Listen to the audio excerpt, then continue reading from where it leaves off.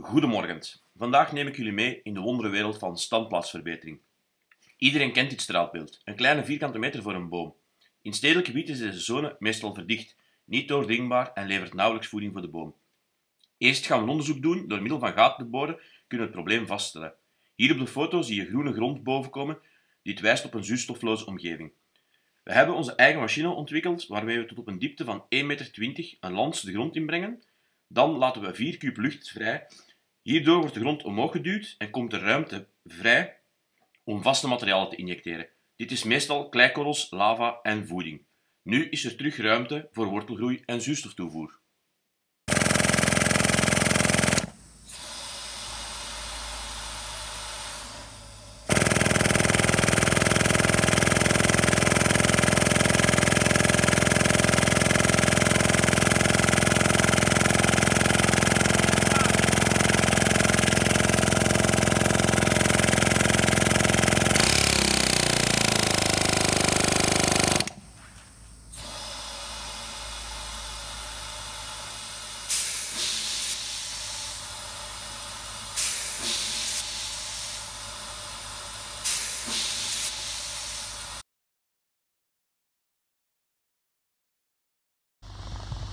Hier maken we gaten in een ondoordringbaar grasveld waarin een storende laag stond en waar het dus het water gewoon weg, als we dus meter 20 diep gaten maakten, het water gewoon omhoog werd uh, geblazen.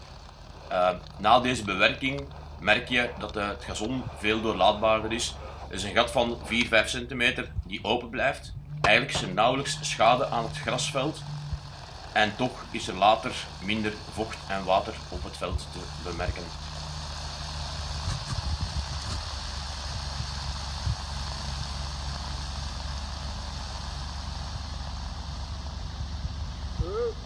Wat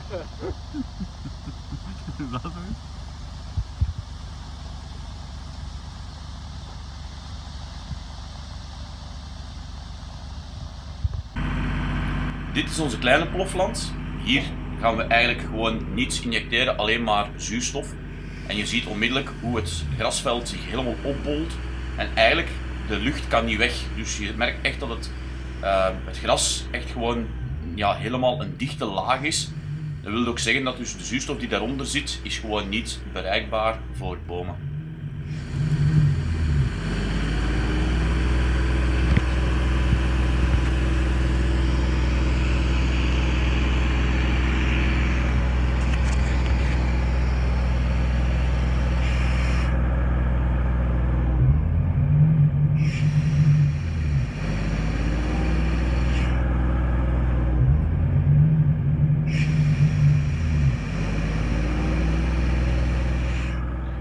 Enkele projecten. De eik van Kaggevine stond al jaren in een grasveld. Gras noemen wij het groene asfalt.